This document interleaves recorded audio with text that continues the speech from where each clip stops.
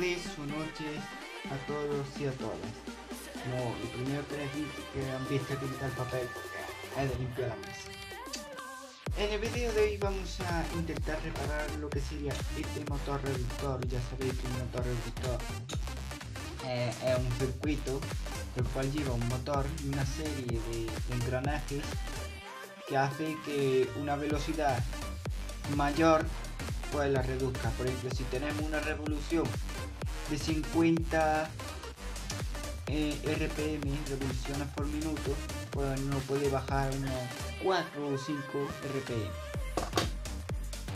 Aquí tenemos este, el cual lleva una polea, ¿vale? Acá, con su motor, pero el motor tiene un problema, de que no tiene terminales. Las terminales, de acercarlo, se le han partido. Entonces, ¿qué vamos a hacer? Vamos a intentar desmontar un poco lo que sería el motor reductor y sacamos el motor.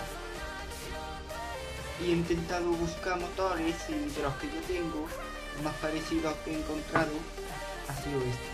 Pero da un problema que, que como podrán ver es una miqueta más pequeña. Pero si es del mismo grosor y se me ha ocurrido hacer una cosa. Sacar la tapita de acá, porque esto tiene aquí unas pestañitas. Estas las abren y consiguen lo que sería abrir el motor. Y aquí tenemos lo que sería la parte de, de la escobilla. Esto no me va a hacer falta, porque como vieron está partido. Vamos a limpiar un poco por dentro el motor, la parte de la escobilla, para conseguir un buen contacto. Vamos a echar un poco de limpiador de contacto. Para que se pueda salir mejor lo que sería la basura y que haga un buen contacto. Y listo. Solamente le quitamos un poco y ya está. Y como ya soltó también, que esta es grasa también. Pero bueno, se le puede echar después. Un poquito de grasa. Ahora, ¿qué vamos a hacer? Vamos a coger este motor, que va a ser el sustituto, y lo vamos a, a ver. ¿Vale? Esto tiene unas pestañitas. Uno hace palanca. Y las abre. Uno por aquí. Cuidado porque estos pueden hacer daño un poco saca las pestañitas y tiran de un poco para arriba y sale. Aquí lo tengo. Y encima está en buena hasta la escobilla. Pues ahora lo que vamos a hacer es que vamos a colocar el, el repuesto acá. Vamos a centrar un poco. Vamos a girar. Y vamos a probar así funciona.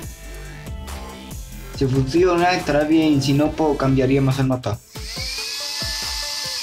Como ven el motor gira con libertad, no falla. Suena, así que el motor está en buen estado. Ahora solamente tenemos que cerrar las pestañitas de nuevo, las cuales abrimos en antes haciendo presión para adentro la cerramos para que ya no se nos vuelva a abrir. Realmente tenemos que hacer presión. Bien una vez que tienen ya las pestañitas bien metidas vuelvan de nuevo a ver si gira libremente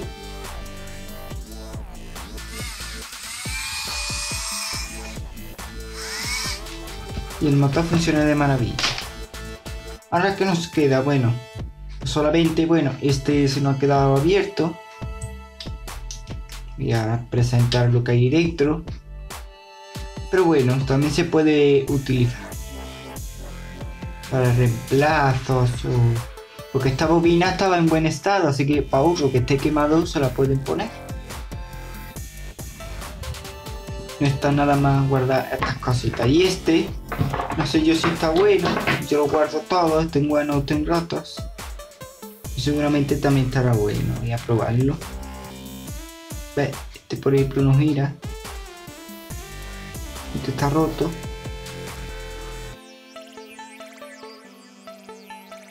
Este está en mal estado, este no funciona. Así que ya lo abriré para reparar. Lleva una piececita que se la colocan y listo. Ahora vamos a ubicar la chapa y vamos a recolocar otra vez el motor en su lugar. Ahí lo giran un poco porque tiene que coincidir con un dibujo que esto lleva dentro hasta que entre voy a cortar el vídeo hasta que lo meta bueno pues ya volví a colocar el motor en su sitio. Y ahora vamos a cerrar lo que sería las pestañas del electromotor reductor. Lleva unas pestañitas las cuales giran para adentro y ya se queda bien cerradito. Un poco cerrarla pero bueno cierran bien cerraditas para que no se vuelva a abrir.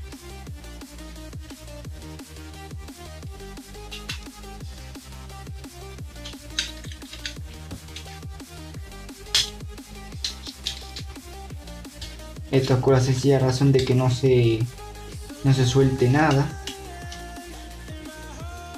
Lo que le hemos puesto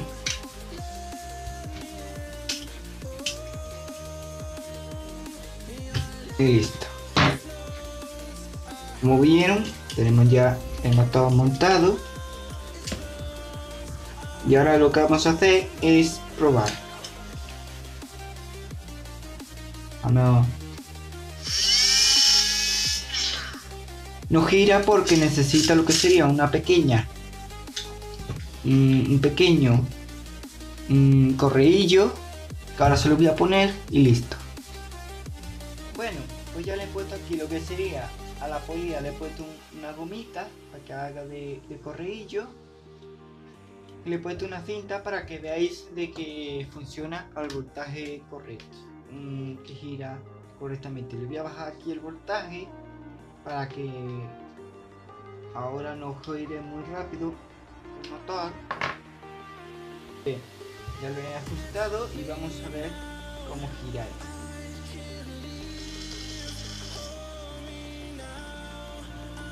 cambiamos de cable girará al lado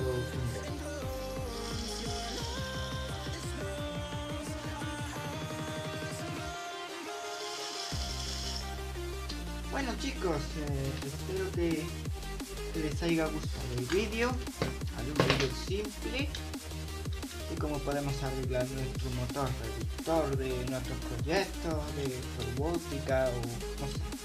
O simplemente si tienen un motor, un motor roto, pues también pueden usar lo que sería la misma. Así que bueno chicos, eh, espero que les haya gustado el vídeo. No olviden dejar un buen like, compartir, suscribiros, activen la campanita. Y bueno, y nos vemos en el próximo vídeo. Ya tengo un motor que para, para el proyecto. Chao.